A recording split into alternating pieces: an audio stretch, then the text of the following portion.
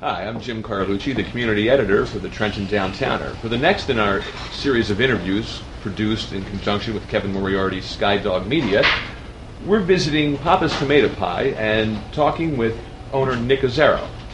Nick's the third generation to run the business, which was started by his grandfather in 1912.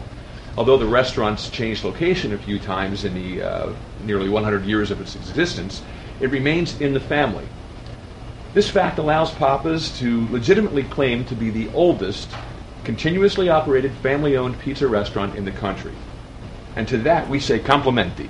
Oh, thank Congratulations. You very much. Thank you very much. This discovery, if you will, has generated some press for the restaurant. You've been interviewed on National Public Radio, the papers have run stories, Magazines. magazines. How's the excitement changed your Wait, business? Channel 5. Channel 5.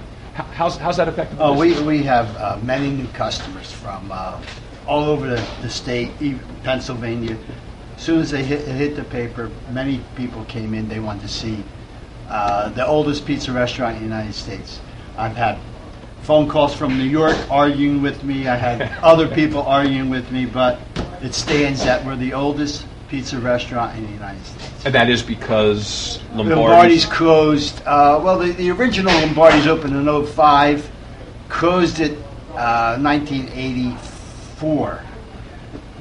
Somebody else bought it in 94, and it was closed for 10 years. So he and he claimed to be the oldest.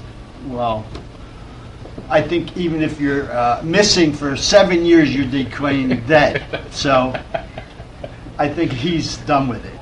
And uh, I'm the oldest pizza restaurant in the United States. That's great. Being from the Trenton area, one uh, tends to take the whole Trenton tomato pie thing for granted. Would you explain for the uninitiated uh, the differences and the similarities between a tomato pie and a pizza? Where we put more love into our pizza. I don't know what else to say. We have great water.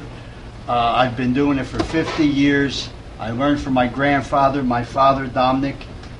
And uh, we've been doing it a long time, and that's why we're still here. And we're the, good. the construction is, is Uh, the construction of the pie is uh, we, we spread out the dough, we put the cheese on, then we put the tomatoes on the top, and I can't tell you why, because I have to either marry it or kill you. okay.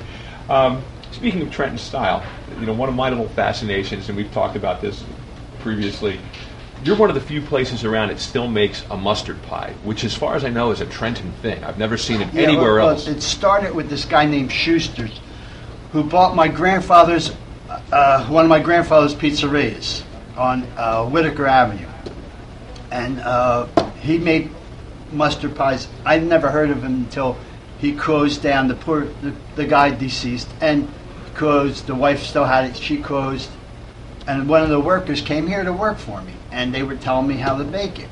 So I took a shot and made it, and people like it. It's- It's, uh, mustard, brown mustard first, tomatoes, and the cheese, and that's a mustard pie.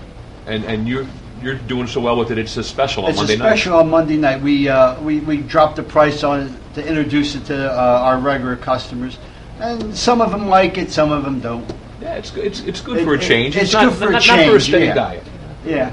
Although I don't know anyone who doesn't like pizza or tomato pie, uh, you do offer other items. What are some of your non-pizza specialties?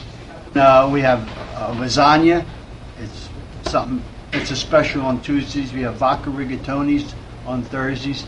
Our chicken parm on Wednesdays. It, it's enormous. People. We run out every every Wednesday. We run out of the chicken parm. Then we have the regular macaronis. We have uh, rigatonis, uh, gnocchis, raviolis, spaghetti, meatballs or sausage.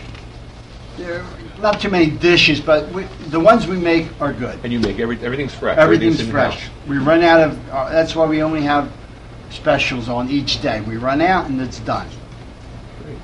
Well, you know, for me, coming in here is is uh, uh, it- it's a Brings you throwback. back? It takes me back. You know, I'm, I'm a kid again. Um, got the red cream soda. So you, you you're offering. You don't just offer good food here. You're offering a slice, if I can use that term, of, of what Trenton was. Yeah.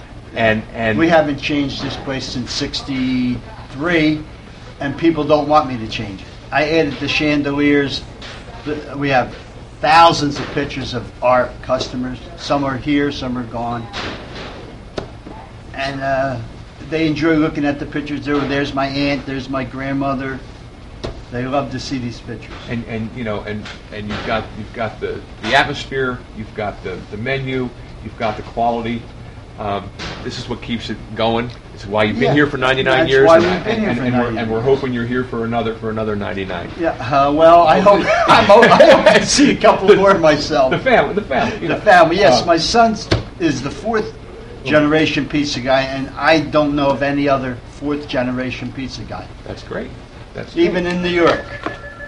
So, we've been talking with Nick Azzaro, the owner of uh, Papa's Tomato Pies, the country's oldest continuously family-run pizza restaurant. For Community News Service LLC and Kevin Moriarty's Skydog Media, I'm Jim Carlucci. Thanks for tuning in.